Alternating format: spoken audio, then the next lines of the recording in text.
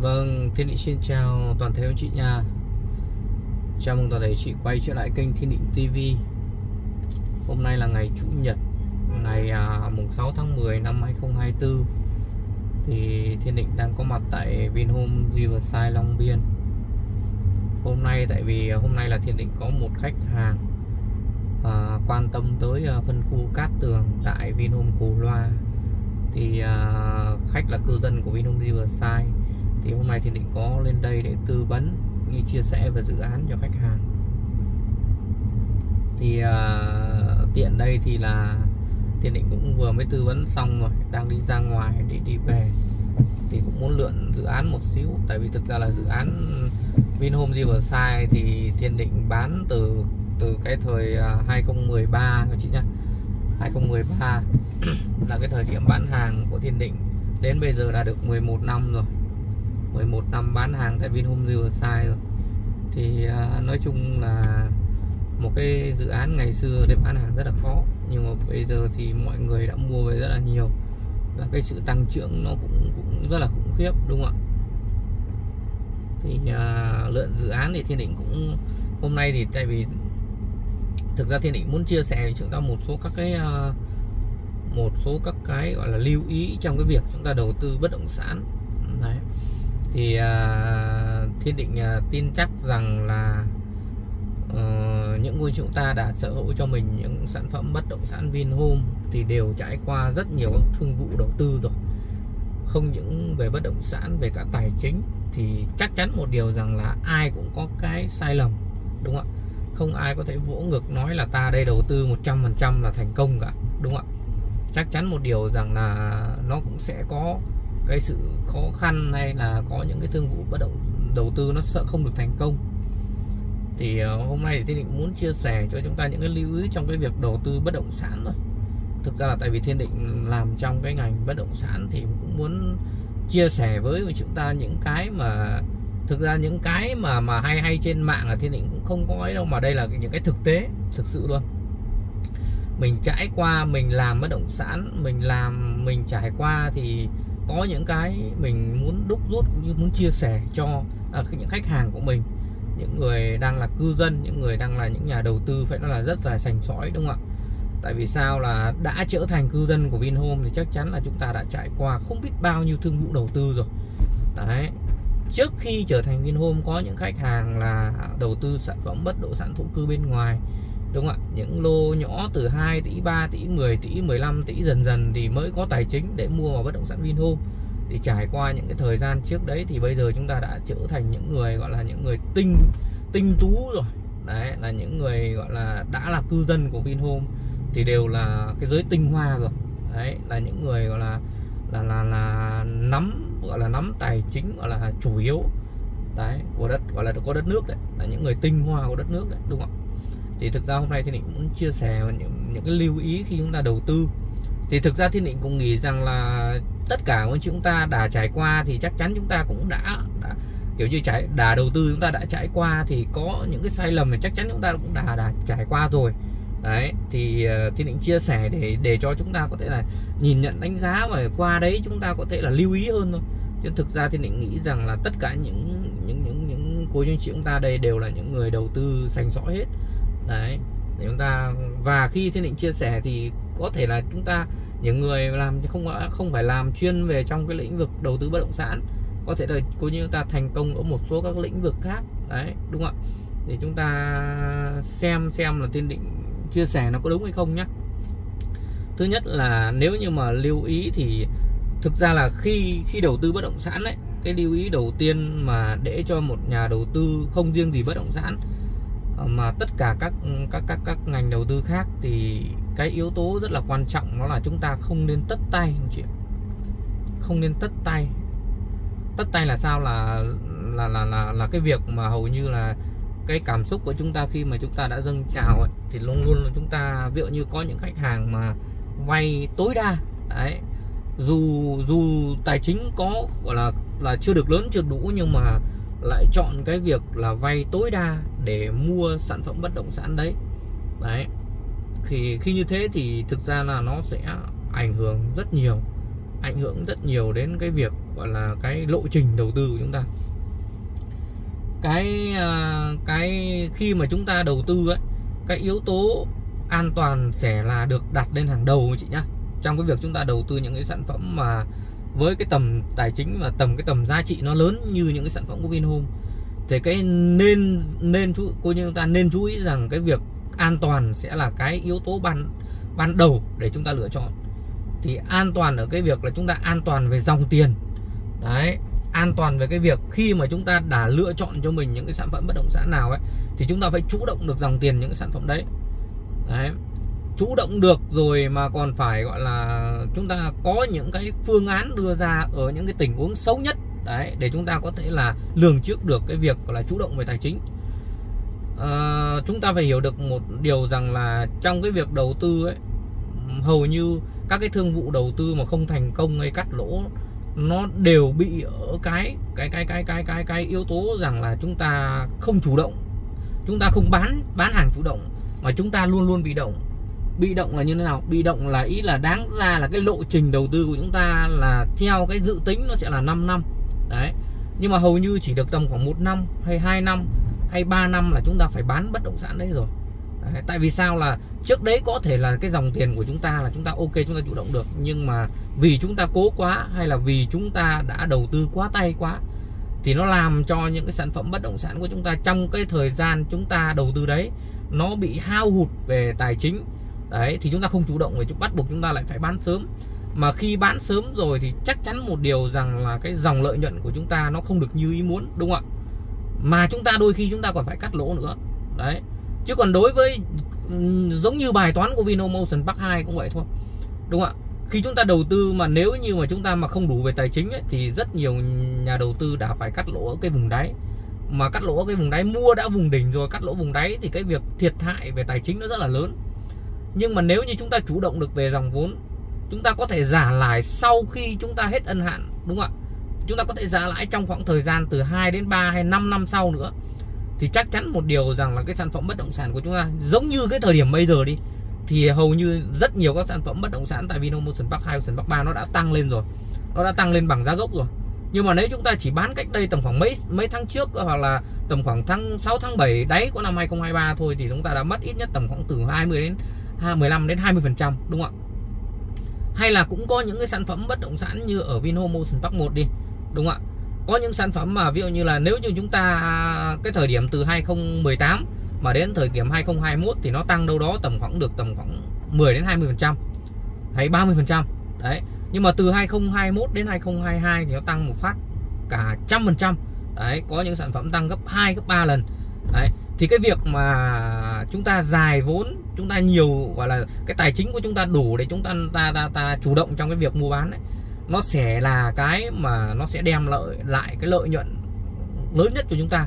Đấy cho nên cái cái cái đấy là cái mà thiên định muốn nói đến của chị nha đó là cái yếu tố và cũng như là cái chú ý đầu tiên. Đấy là chúng ta không tất tay và chúng ta không không không nên cố quá về tài chính. Cái việc khi mà chúng ta lựa chọn một cái sản phẩm ấy giống như kể cả những cái cô chú anh chị khách hàng của thiên, thiên định thôi. Đấy.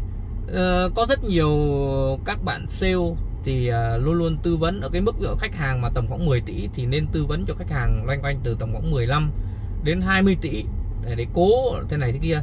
Nhưng mà thiên định khi mà thiên định tư vấn thì định luôn luôn hỏi khách hàng là cái tài chính của chị chúng ta là bao nhiêu. Đấy tài chính của chúng ta. Và thiên định luôn luôn là thì định hiểu một điều rằng khi mà, mà đã đưa ra cái mức tài chính như vậy thì khả năng là khách hàng đã cố rồi chứ không phải là thế, hoặc là khả, khả năng là trong cái giới hạn như vậy là là khách hàng đã phải cố rồi ấy.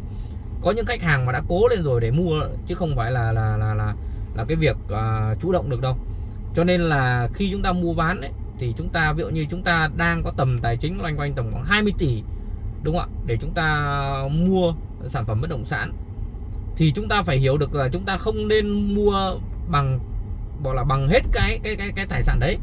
đấy, mà chúng ta nên giữ một phần của chị nhá, giữ một phần. Và có những cái phương án, gọi là phương án về cái gọi là cái kiểu như là tiêu cực nhất để mà thị trường nó có chậm hay nó chừng thì chúng ta biết để chúng ta có những cái phương án tài chính để mà chúng ta xoay sở trong cái khoảng thời gian tiếp theo. Đấy. Ok đây là một cái yếu tố thứ nhất. Một cái yếu tố thứ hai đó là khi mà chúng ta đầu tư bất động sản ấy, đặc biệt là những cái sản phẩm bất động sản Vinhome thì nó rất là là lớn rồi. Nhưng mà cái việc mà chúng ta vay ngân hàng nó là một trong những cái mà thiên định thấy được rằng là nó rất là hay. Đấy. À, thiên định đang chia sẻ luôn nhá. Thì à, cái việc mà chúng ta thiên định đang nói là nói chung thôi. Thì khi mà chúng ta mua sản phẩm bất động sản ấy thì cái việc vay ngân hàng thì vay ít hay vay nhiều chúng ta cũng nên vay chị nên vay nhưng mà thiên định cũng phải chia sẻ luôn là đối với những sản phẩm bất động sản Vinhome thì cái tính pháp lý của nó rất ok rồi. Đúng không ạ? Về giá cả rồi về thị trường của nó thì cái tính thanh khoản nó cũng rất là tốt rồi. Đấy, về à, kiểu như là là là là là là tranh chấp hay hay gọi là khiếu kiện thì nó rất là ít. Những cái trường hợp như vậy thì hầu như nó, hầu như là không có. Đấy, tại vì sao là ờ, hầu như là cái việc, các các cái việc mà chúng ta đầu tư bất động sản bên ngoài ấy, thổ cư bên ngoài ấy thì nó cực kỳ, gọi là, cái tính pháp lý nó cực kỳ quan trọng. Đấy, cho nên là cái việc chúng ta vay ngân hàng nó cực kỳ hay. Một cái là ngân hàng là người ta có nghiệp vụ anh chị ạ.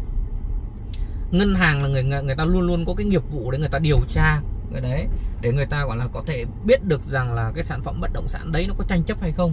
Đấy, cái sản phẩm bất động sản đấy giá trị bao nhiêu và người ta cho vay bao nhiêu. Đấy, cho nên là khi mà chúng ta đầu tư bất động sản, thiên định không nói đến không nói chung chung là bất động sản Vin à không nói riêng là bất động sản Vinhome nhé Vinhome thì nếu chúng ta mà vay thì cũng cũng cũng cũng rất là ok thôi tại vì nó sẽ là an toàn cho chúng ta.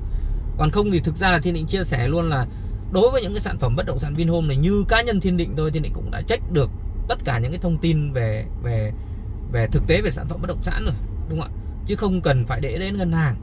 Nhưng mà những cái sản phẩm bên ngoài nha chị nhé những cái sản phẩm thổ cư ấy, đấy hoặc là những cái sản phẩm mà mà mà thổ cư lớn ấy, thì thực ra cái việc mà chúng ta vay ngân hàng hay chúng ta dùng đòn bẩy một xíu tài chính một xíu để chúng ta thẩm định xem là cái sản phẩm bất động sản đấy nó có có có có ok về tính pháp lý hay không. Đấy và nó có tranh chấp hay không. Về cái việc liên quan tới những cái yếu tố mà mà mà mà mà, mà uh, thế chấp ngân hàng nữa đúng không ạ? Tại vì có những sản phẩm bất động sản cô, cô chúng ta phải hiểu được rằng là khi mà chúng ta mua ấy có những khách hàng như thời điểm vừa rồi mà khách hàng của thiên định nha anh chị nhá. Khi mà mua mua phải cái bất động sản mà người ta đã đã kiểu như là người ta đã đã thế chấp rất nhiều sản phẩm bất động sản khác. Kiểu như là cái sản phẩm bất động sản người ta mua ấy người ta thế chấp nhưng mà cái những cái sản phẩm bất động sản của người ta đang vướng nợ xấu ở một cái dự án khác. Đấy kiểu như là người ta đang đang đang đang đang đang đang đang đang bị nợ xấu ở một một một một, một sản phẩm bất động sản khác ấy thì khi đấy thì hầu như là chúng ta nếu như chúng ta mua cái sản phẩm bất động sản của chúng ta ấy, người ta đang vay nhá cô chị nhá người ta đang vay mà mình mình không tìm hiểu trước ấy cô chị ạ mình không tìm hiểu trước. Mình không trích được cái khoản vay đấy nó có vướng mắc ở cái nợ xấu ở một cái ở một cái cái dự án nào hay không ấy. Thì khi mà chúng ta đặt cọc vào hoặc là chúng ta khi mà chúng ta thanh toán chúng ta tất toán vào ngân hàng ấy đôi khi sản phẩm bất động sản cái cái tài sản đấy nó bị giữ lại luôn tại vì khi mà đã nợ xấu rồi khi đã bạn đã nợ một cái khoản khác rồi giống như cái dự án như trước đấy là con Nova đúng không ạ? À, khách hàng của Thiên Định cũng bị một cái ờ, một cái sản phẩm đó là của Nova. Thì thì là cái sản phẩm bất động sản của Nova thì nó chưa ra sổ mà nó bị vướng đấy nó bị vướng mà Thiên Định cũng không không không dò là cái việc gọi là về về về cái cái tính pháp lý rồi cái dự án nó như nào. Nhưng mà hầu như là khách hàng mới chỉ đóng 30 phần trăm thôi sau đấy là hầu như là là là là, là nó bị uh, dự án nó bị dừng lại.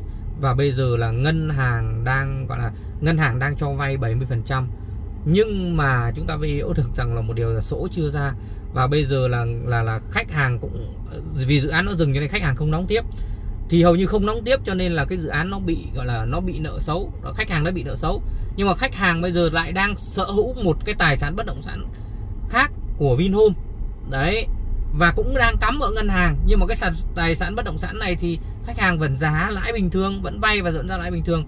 Nhưng mà vì cái dính nợ xấu của cái cái cái cái cái, cái bất động sản kia cho nên là bây giờ nếu như mà muốn tất toán cái bất động sản của Vinhome ấy thì bắt buộc lại phải tất toán kể cả cái sản phẩm bất động sản của Nova nữa. Đấy cho nên là cho nên là khi mà đã vào khi đã vào, vào tất toán cái à, cái sản phẩm bất động sản kia thì tại vì cái số tiền tất toán lại là cái số tiền của khách hàng đưa vào đấy, chứ không phải là là là là là là là là là là, là, là chủ nhà người ta bỏ tiền tự người ta tất toán mà khách hàng lại là người bỏ tiền vào thế cuối cùng là chúng ta phải hiểu được một điều nhau anh chị nhá là cái là cái giao dịch đấy nó bị ảnh hưởng và cuối cùng là cũng phải nói chung là xử lý rất nhiều các cái phương án cuối cùng là cũng xử lý xong nhưng mà như thế nó làm cho ảnh hưởng thứ nhất là thời gian rồi ảnh hưởng rất nhiều các cái yếu tố làm đau đầu nữa chị ạ đấy thì cho nên chúng ta phải hiểu được một điều rằng là cái việc vay ít hay vay nhiều. Đấy cô chị nhá. Nó nó nó nó là cái cần thiết của chị đấy, nên vay ngân hàng của chị nhá. Vay nên vay ngân hàng. Thực ra là kể cả thiên định chia sẻ luôn là kể cả những cái sản phẩm bất động sản mà là mới đi cô chị ạ. Kể cả những cái sản phẩm bất động sản mới như là những dự án mới đi thì cái việc mà chúng ta san sẻ một phần cái rủi ro cho ngân hàng đấy, nó cũng là một cái nó nó nó nó nó nên. Đấy. Tại vì chúng ta phải hiểu được một điều rằng là giống như một cái dự án mà đang triển khai thực ra đối với Vin Vin, Vinhome ấy, đối với Vingroup ấy, thì tiến độ và tính pháp lý nó rất là nhanh rồi. Nhưng mà Thiên Định đang nói đến rất nhiều các dự án khác. Đôi khi chúng ta, khi mà chúng ta mua vào nó đang triển khai, nhưng khi chúng ta mua xong rồi thì cái dự án đấy lại, nó lại bị chậm tiến độ hoặc là nó bị dừng tiến độ do cái tình hình, thứ nhất là pháp lý nó sai sót hay như nào đấy, nó bị dừng luôn cuối cùng là dự án trở thành dự án ma thì khi đấy đấy, giống như là là là là là nếu như mà chúng ta mà mà mà mà vay ngân hàng thì ở đây là ngân hàng đang đang đang sẽ gánh một phần trách nhiệm với chúng ta nữa, đúng không ạ? Như bây giờ chúng ta chỉ vay và chúng ta chỉ bỏ vào 30% một 70% là ngân hàng. Thì đấy, giống như là những cái dự án của Nova trước đấy đấy. Thì hầu như là bây giờ thì ở đây là trách nhiệm cả đôi bên. Đấy, cho nên là chúng ta sẽ biết ít bị rủi ro hơn. Đấy, cô chị nhá. Cho nên cái việc vay ngân hàng nó rất là hay và nó sẽ giúp cho chúng ta check được rất nhiều các thông tin từ sản phẩm bất động sản để chúng ta chúng ta đầu tư. Đấy, thì chúng ta phải hiểu được là khi chúng ta đã mua vào mà nó không lăn tăn về vấn đề gì ấy, thì cái việc chúng ta mua bán xong nó rất là hay. Và cái sản phẩm bất động sản đấy, khi chúng ta đã đã xong cái phần đầu tiên rồi là chúng ta sở hữu được rồi đấy mà nó suôn sẻ đi một cái nữa là sau này đấy, chúng ta hiểu được cái cái phong thủy đầu tiên khi chúng ta mua được những cái sản phẩm bất động sản tốt mà nó không vướng mắc gì nó đã là một cái thành công rồi chị ạ. Đấy cho nên là có những sản phẩm chúng ta mua xong mà mà mà mà nó nó vướng mắc một một cái vấn đề gì đấy thì nó làm cho nhà đầu tư đau đầu. Đấy, đôi khi đôi đôi khi không cần gì cả mà chỉ cần thu lại về vốn thôi đấy, cho nên là chúng ta phải hiểu được một cái đấy, cái cái vấn đề đấy nó cũng rất là quan trọng cho chị nhá đấy cái yếu tố thì định vừa mới nói thực ra nó hơi lan man nhưng mà yếu tố thì định muốn nói là của chúng ta hãy vay ít hay vay nhiều cũng nên vay. Đấy để dùng ngân hàng để có thể là là thẩm định được cái sản phẩm bất động sản đấy. Cái yếu tố thứ ba mà chúng ta cần chú ý đó là chúng ta phải biết kiềm chế cảm xúc của chị ạ. Biết kiềm chế cảm xúc ở một cái gọi là cái đỉnh đỉnh cao các cái việc khi mà chúng ta lựa chọn sản phẩm bất động sản ấy. Thì thực ra là kiềm chế là như nào? Là có những cái sản phẩm bất động sản mà khi chúng ta đã thích lắm rồi cô chị ạ. Nếu chúng ta làm được như này này chúng ta sẽ là thành công này. Thành công trong cái việc là chúng ta sẽ trở thành một cái nhà môi giới đỉnh cao chứ không phải đơn giản chỉ là một cái nhà nhà môi giới chấp à à cái cái cái nhà đầu tư đỉnh cao chứ không phải là chỉ nhà là đầu, đầu tư chớp nhoáng hay là đầu tư may mắn nữa, mà là nhà đầu tư sành sỏi và nhà đầu tư đỉnh cao này, là khi mà một cái sản phẩm bất động sản nào đấy mà chúng ta đã thích lắm rồi chị ạ, thích lắm rồi, nhưng mà nó có một cái vướng mắc nào đấy nhưng mà chúng ta vẫn cố gắng, chúng ta chốt, đấy, chúng ta hiểu một điều là chúng ta đã thích lắm rồi, nhưng mà chúng ta vẫn còn một một sai sót nào đấy, một số các cái thông tin nào đấy mà chúng ta vẫn chưa có thể check xong được, chưa chưa thực sự, chưa thực sự gọi là là rõ ràng nhưng mà tại vì chúng ta thích lắm rồi mà chúng ta lại rơi tiền. Đấy chị ạ lại rơi tiền chúng ta cọc. Thì cái yếu tố đấy nó sẽ làm cho cái việc mua bán của chúng ta nếu như mà suôn sẻ thì không sao. Nhưng mà nếu mà chúng ta không suôn sẻ cái yếu tố mà chúng ta lan tăn đấy nó xảy ra rủi ro ấy, thì nó lại cực kỳ ảnh hưởng đến cái việc giao dịch của chúng ta và cái việc đầu tư của nó là xác định là chúng ta mất mất tiền đúng không ạ? Tại vì hầu như chúng ta phải hiểu là tất cả các cái giao dịch trong cái việc đầu tư không riêng gì bất động sản mà tất cả những cái giao dịch liên quan đến đầu tư, đấy, kể cả đầu tư tài chính nữa, thì nó đều liên quan đến cảm xúc nha chị nhá. Cảm xúc của chúng ta càng dâng trào đến việc chúng ta quyết định cái cái cái cái cái thương vụ nó càng nhanh. Đấy, nhưng mà chúng ta phải thắng được cái cảm xúc đấy. Cái ý chí của chúng ta phải thắng được cái cảm xúc đấy. Là khi mà chúng ta đã thích lắm rồi của chị ạ. Đấy, nhưng mà chúng ta phải biết từ chối cái cái cái giao dịch đấy chúng ta phải phải biết được rằng là mình dừng cái cơ hội đấy thì nó còn rất nhiều các cơ hội khác đúng không ạ? Có cô chị có cô chị ta nào mà chúng ta khi mà chúng ta đã chốt giao dịch rồi đúng không ạ? Nhưng uh, về nhà xong một hai hôm sau vì dù một cái giao dịch đấy là cái sản phẩm đấy chúng ta đã thích lắm rồi nhưng mà sau một một vài hôm sau thì lại thêm một cái sản phẩm khác cũng giống như cái sản phẩm chúng chúng ta vị trí lại đẹp hơn mà giá lại hợp lý hơn đúng không ạ? Có rất nhiều trường hợp, chị ạ, có rất nhiều trường hợp. Khi mà chúng ta đã chốt xong giao dịch rồi, dù là giao dịch trước đấy chúng ta cảm giác à thằng này nó ok lắm rồi. Nhưng mà khi chúng ta về một cái thì sao ạ? Mấy hôm sau lại có một cái sản phẩm nó à nó lại giống như cái của mình luôn. Hoặc là nó có là xem xem hoặc là có đôi khi nó còn đẹp hơn mà giá lại còn hợp lý hơn không? Đấy. Cho nên là cái việc đầu tư đầu tư vào những cái sản phẩm bất động sản, thì định đang nói đến sản phẩm bất động sản nhé khi chúng ta đầu tư vào sản phẩm bất động sản mà bất động sản là một cái sản phẩm chu kỳ không chị ạ. Chu kỳ thì nó có sự tăng giá và giảm giá. Cái việc mà chúng ta bỏ qua cái thời điểm mua hiện tại chưa chắc là chúng ta đã không mua được cái giá tốt ở thời điểm sau nữa. Đấy, cho nên cái việc mà chúng ta nên cân nhắc và có những cái điểm dừng cảm xúc của chị ạ. Điểm dừng cảm xúc của chị ạ điểm dừng cảm xúc. Như thế là chúng ta mới là người thắng cuộc tại vì khi mà chúng ta giữ được cái tiền mặt của chị ạ chúng ta giữ được tiền, nó mới là cái mà thành công. Đấy. Có những cái kể cả không riêng gì bất động sản, kể cả chứng khoán hay bitcoin hay những cái thị trường như thị trường vàng chị em chúng ta biết cầm tiền mặt, biết dừng cảm xúc đúng lúc, biết dừng giao dịch đúng lúc. Thực ra là có nhiều cô anh chúng ta bảo là cái khả năng cái thằng này nó bị điên rồi. Đấy thằng này nó đang đi bắt bất động sản mà bây giờ nó lại tư vấn cho người ta dừng, không mua. Lại dừng cảm xúc, nó đang cảm xúc phải lâng dâng trào lên phải hối thúc cho khách hàng mua chứ. Sao lại lại tư vấn cho người ta hay là đưa ra những cái ý kiến là dừng cảm xúc rồi dừng mua rồi dừng giao dịch đúng không ạ? Nhưng mà cái này thực ra thiên định là người bán hàng. Nếu như thiên định là một cái người ngày xưa ấy, khi mà mới bước vào nghề ấy, thì chăm chăm lúc nào cũng đi bán hàng làm sao để bán được hàng? Làm sao để bán được sản phẩm này? Làm sao để có tiền? Đấy.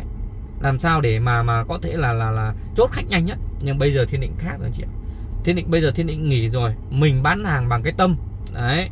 Mình bán hàng bằng chính đấy gọi là bằng cái cái tư vấn chính đáng bằng cái tư vấn chuẩn xác tư vấn có tâm. Thì cái người khách hàng thiên định chia sẻ luôn mà. Bây giờ kể cả cô chúng ta không mua của thiên định nhưng mà thiên định rất là vui vẻ luôn. Có những cái thương vụ mà khách hàng kể cả khách hàng thân thiết luôn mà không mua thiên định cũng rất vui vẻ. Và thiên định khẳng định luôn là tất cả cái việc mua bán ấy, nó là nó là đôi khi nó là còn cái duyên nữa cơ đấy. Và mình xác định rằng khi mà khách hàng của mình đã không mua của mình rồi ấy, thì chắc chắn là cái phước của mình nó chưa nhận được thôi. Nếu như mình đủ phước thì cái lộc của đó mình sẽ bán được hàng và mình sẽ có tiền. Còn nếu như mình chưa được nhận đủ mà mà mình vẫn muốn mong cầu ấy thì mình sẽ xảy ra những cái tiêu cực. Đấy những cái nó sẽ ảnh hưởng đến cuộc sống của mình. Nào là bệnh tật này nào là xui xẻo này nào rất nhiều cái chị ạ. Cho nên là thiên định bây giờ thiên định thiên định nghỉ nó rất là thoải mái luôn cô chị ạ. Đấy thì đấy thì định vừa mới chia sẻ chúng ta một cái yếu tố là biết dừng cảm xúc đúng lúc. Không phải đúng lúc mà biết dừng cảm xúc ở cái thời điểm đỉnh cao nhất của cảm xúc ấy. khi mà chúng ta đã quyết định chốt chốt rồi ấy, thì chúng ta hãy suy nghĩ lại xem mình còn gợn cái gì hay không, mình còn còn còn còn còn còn cái cái gì mà cần phải tính toán hay cần cần phải xem xét lại hay không. Nha chị nhá. Còn khi mà nó đã perfect hết rồi, nó đã hoàn hảo hết rồi thì không có cái lý do gì chúng ta không chốt. Nhưng mà nếu chúng ta còn một số lý do gì còn một số cái vấn đề gì mà còn phải lan tăn nha chị nhá. Dù mặc dù chúng ta đã thích lắm rồi cầm tiền trên tay để mà ok mà chốt luôn rồi nhưng mà chúng ta cùng phải biết dừng. Đấy đấy thì như thế mới là một người bất động sản à, một người đầu tư bất động sản thành công một người đầu tư bất động sản sành sỏi và một người đầu tư bất động sản lão luyện. Phải như thế của chị nhá?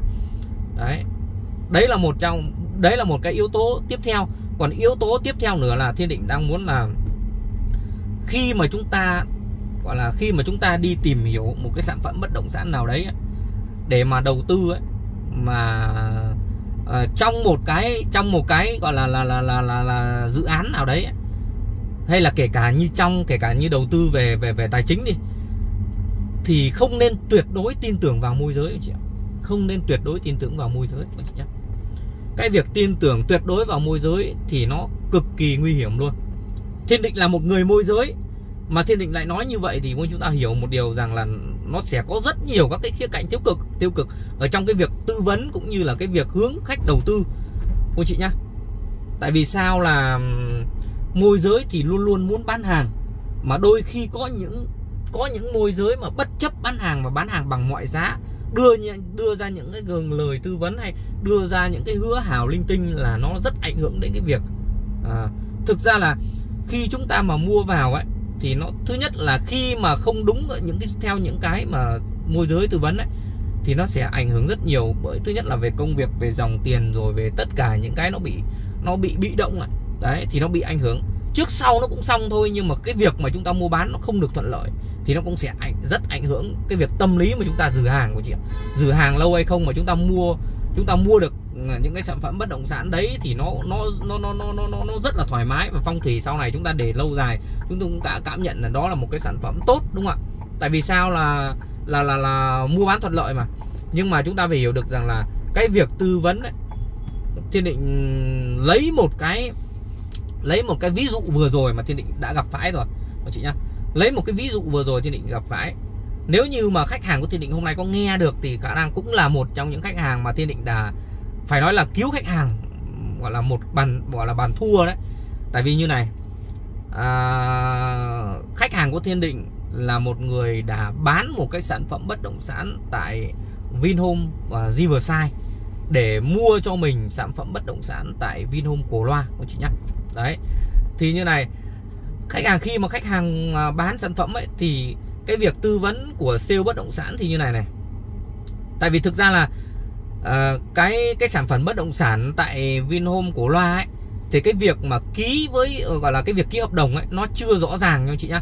Cái thời điểm mà theo cái lộ trình mua bán như đợt vừa rồi ấy chúng ta hiểu một điều rằng là khách hàng đầu tiên sẽ là đặt cọc 500 triệu và lên ký thỏa thuận đặt cọc này. Sau 4 ngày sẽ là ký gọi là ký à, sau 4 ngày sẽ là đóng 10% này.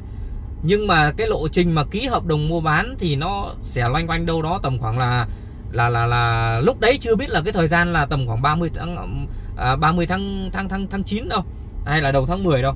Mà lúc đấy chỉ biết là chủ đầu tư chưa có chưa có gọi là cái cái cái lịch chính xác đấy, nhưng mà hầu như là đến thời điểm này thì để mà đóng tiền thì nó loanh quanh đâu đó tầm khoảng mùng 10 tháng 10 là đóng tiền. Nhưng mà sale bán hàng nha chị nhá, sale bán hàng thì lại tư vấn cho khách hàng là như thế này, là bây giờ anh chị cứ vào cọc đi. Đấy, anh chị cứ vào cọc đi.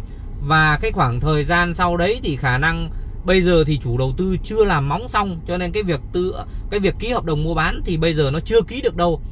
Và khả năng nó phải rời ra tháng 10 hoặc tháng 11 đấy, rời ra có phải cuối tháng 10 hoặc tháng 11 thì mới ký được. Tại vì lúc đấy em cảm nhận như móng nó mới xong thì lúc đấy mới ký được. Tư vấn như vậy là nó rất là là là nguy hiểm một chị ạ tại vì chúng ta biết sao? Bây giờ anh ấy bán một căn ở Vinhome Riverside mà lịch để mà mà giao dịch và chuyển nhượng xong nó phải rơi tầm một tháng. Nhưng mà bây giờ đóng tiền đối với chủ đầu tư nó chỉ doanh loanh quanh đâu đó. Đấy, ví dụ như là khi mà chúng ta khi mà từ cái thời điểm mà cọc xong là sau 4 ngày là phải đóng đóng à, à, ký thỏa thuận cọc xong là sau 4 ngày là phải đóng 10 phần trăm rồi. Cái 10 phần trăm đấy là ok xoay được nhưng mà cái khoảng tiếp theo là tầm khoảng 100 phần trăm tiếp theo đúng không ạ? Là loanh quanh đâu đó tầm khoảng 90 phần trăm thì sẽ đóng đâu đó trong vòng đâu đó tầm khoảng là 20 ngày nữa là phải đã phải đóng rồi.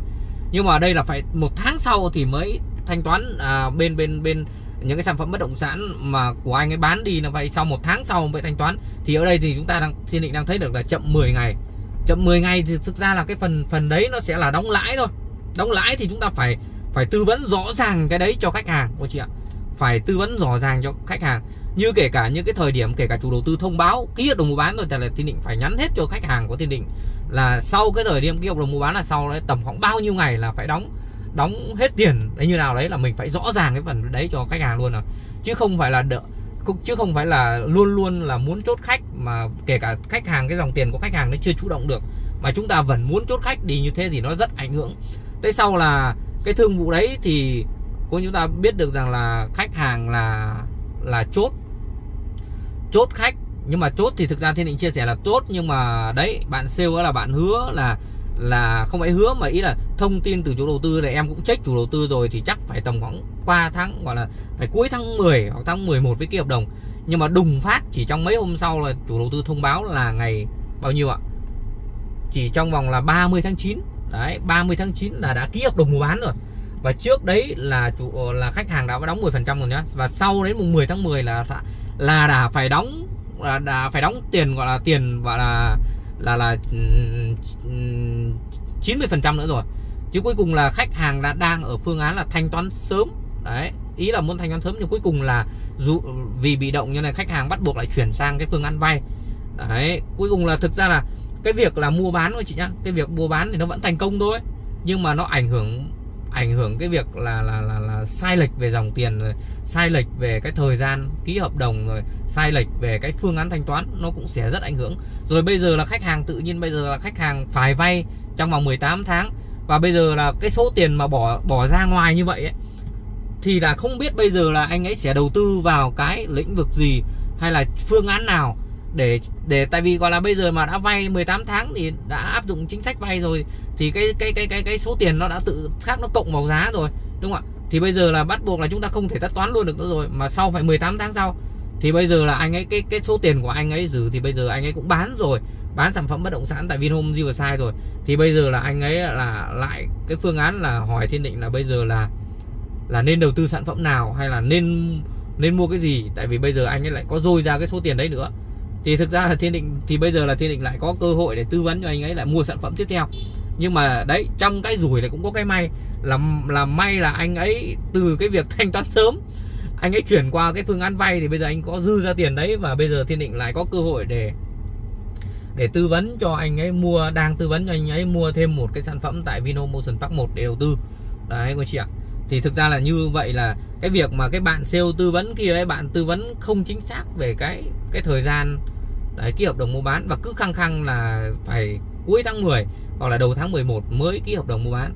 Thì đấy cũng là một trong những cái mà thiên định thấy được. Còn đối với riêng với thiên định nha chị nhá, riêng với thiên định là cô chúng ta yên tâm một điều rằng là tất cả các cái giao dịch hay tất cả các cái việc mà liên quan tới sản phẩm, thiên định bây giờ là thiên định hầu như là thiên định bán hàng là nó kiểu như không phải kiếm tiền bằng mọi mọi giá chị ạ, mà mình kiếm tiền bằng bằng, gọi là bằng đúng cái cái gọi là cái cái cái cái cái um, cái tâm của mình. Đấy kiếm tiền bằng bằng bằng bằng những cái gọi là là là chính đáng luôn. Đấy cho nên là tất cả những cái thông tin về dự án hay thông tin về sản phẩm hay cái gì nó về vướng mắc hay là kể cả về sản phẩm nó có ưu nhược điểm gì thiên định đều tư vấn rõ ràng để chúng ta nắm bắt được chị ạ.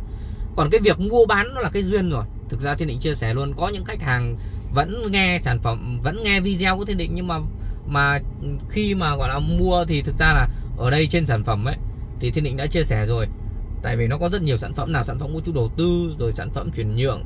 Đấy mà sản phẩm chuyển nhượng thì nó rất nhiều sản phẩm. Đấy có những sản phẩm giá này có những sản phẩm giá kia. Cho nên thực ra là cái việc mua bán nó cũng là cái duyên của chị ạ. Đấy cho nên là như vừa rồi là thiên định chia sẻ với chúng ta một số các cái các cái gọi là các cái các cái cái uh, chú ý trong cái việc mua bán bất động sản đấy. Còn thực ra là để mà những cái tiêu cực từ cái việc uh, tư vấn môi giới ấy, nó nhiều lắm. Nó nhiều cái cái cái tiêu cực lắm. Thì nó nó rớt vào cô chú cô chú anh chị nào thì chúng ta phải chịu thôi. Thì chắc chắn rồi.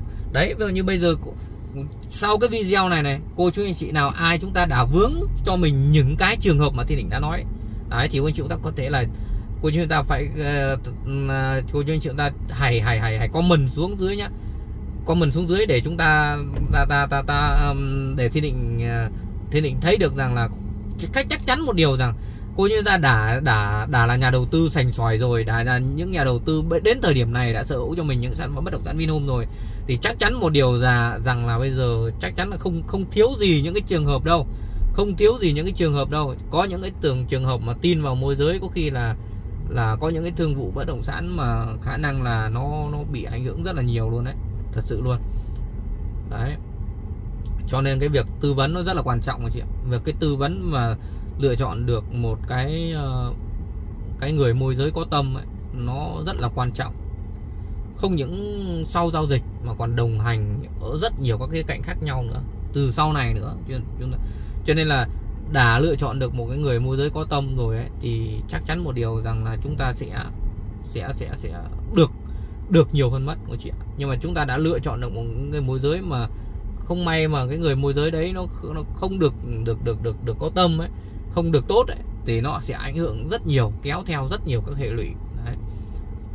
cho nên là kể cả như các bạn môi giới thì định cũng khuyên kể cả những nhân viên của thiên định thiên định cũng đã chia sẻ luôn luôn đặt cái uy tín lên hàng đầu. Và cái cái sàn của thiên định khi thiên định mở ra thì gọi là là là Thiên định đặt cái câu slogan là biết cô nhân biết là gì không tâm tín tạo dựng niềm tin. Đấy. Tâm là cái yếu tố quan trọng, cái tín là cái yếu tố thứ hai cô chị ạ. Hai cái yếu tố đấy là hai hai cái yếu tố nòng cốt. Hai cái yếu tố đấy là hai cái yếu tố quan trọng nhất trong tất cả các lĩnh vực. Không riêng gì môi giới bất động sản, mà trong tất cả các lĩnh vực luôn cô chị ạ. Trong tất cả lĩnh vực luôn. Đấy. Nếu như ai mà có được hai cái tâm và cái tín, thì kiểu gì cũng sẽ phát triển được. Nó chỉ là thời gian thôi cô chị nhé nó cộng thêm một chút gì đấy chăm chỉ nữa thì chắc chắn một điều rằng kiểu gì cũng sẽ thành công. Ok thì chị xin chân thành cảm ơn toàn thể chị đã theo dõi video.